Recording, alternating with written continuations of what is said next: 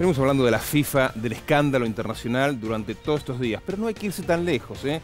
La AFA tiene sus propios inconvenientes aquí en la República Argentina y los clubes muchísimas deudas. A ver, Luis Segura, presidente de la Asociación de Fútbol Argentino, tuvo una reunión ayer con el titular de la FIP, Ricardo Echegaray, y ahí hubo una advertencia. Sí. Los clubes que tengan deudas con el fisco tienen que actualizar y si no lo hacen le podríamos embargar, por ejemplo, los ingresos que lleguen por los sponsors o por la venta de jugadores. A ver, algunos casos emblemáticos, usted recordará el de Jonathan Botinelli, exjugador de San Lorenzo.